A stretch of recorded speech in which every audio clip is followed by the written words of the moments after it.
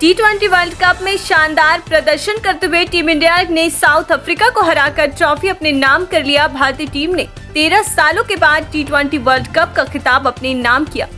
लेकिन यह T twenty World Cup Australia team के लिए किसी बुरे सपने से कम नहीं था।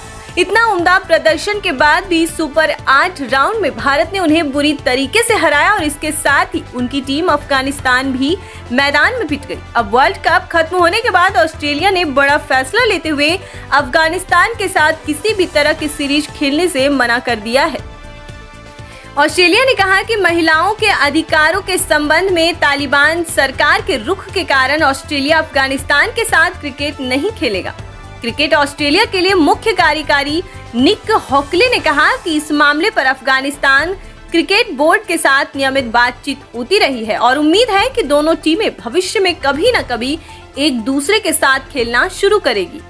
ऑस्ट्रेलिया ने महिलाओं और लड़कियों के मानवाधिकारों में गिरावट का हवाला देते हुए तीन बार अफ़गानिस्तान के साथ द्विपक्षीय सीरीज़ खेलने से अपना नाम वापस ले लिया है, लेकिन आईसीसी इवेंट में उनके खिलाफ खेल रहे हैं। इस दौरान होकले ने कहा कि अफ़गानिस्तान के शानदार खिलाड़ियों के साथ शानदार टूर्नामेंट खेला और उन्होंने बहुत जोश और उत्साह के साथ खेला।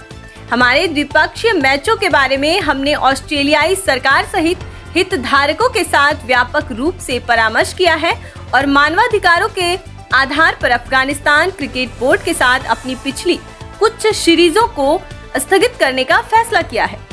उन्होंने कहा कि हम अफ़गानिस्तान क्रिकेट बोर्ड के साथ घनिष्ठ संबंध और नियमित संवाद बनाए रखते हैं और चाहते हैं कि क्रिकेट पुरुषों और महिलाओं दोनों के लिए दुनिया भर में फले फूले। हम प्रगति की उम्मीद करते हैं और अफ़गानिस्तान क्रिकेट बोर्ड के साथ चर्चा और संपर्क बनाए रखना जारी रखेंगे, जिसका लक्ष्य भविष्य में किसी समय अफ़गानिस्तान के साथ विपक्ष क्रिकेट को फिर से शुरू करना होगा।